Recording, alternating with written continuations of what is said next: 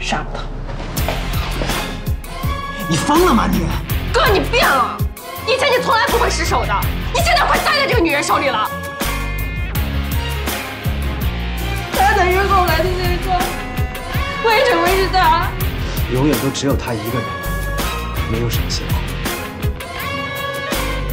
我不当你妹妹，我不当你妹妹。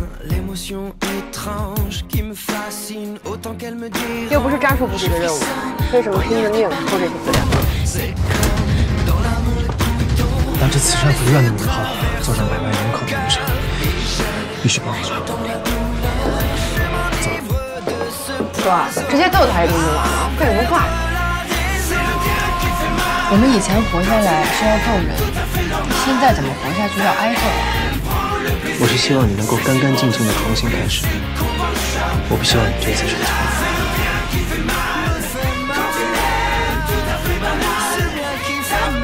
你为什么要瞒着我去接近邱家？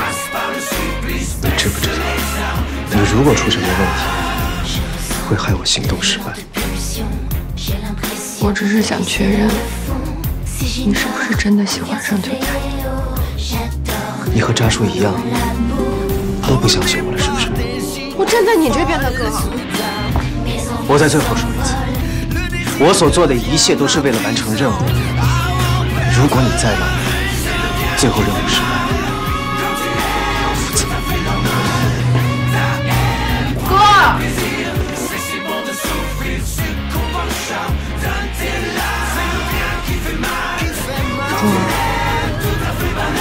来，都准备不用。哥，茉莉，清汤八锅。要一个鸳鸯锅吧。你一点辣都不能吃，对皮肤不好。但我哥爱吃。你就是害怕失去你失去我？你就害怕任务结束你不要我了。如果你这样做的话，赵宝山会恨你一辈子。你闭嘴！我不得到我哥，也不能别人得到我哥。扔开！哥，不能让你进去。恭喜你。任务完成，你可以回去和渣叔复命。你们分手了，你也是输家。爱情没有输赢，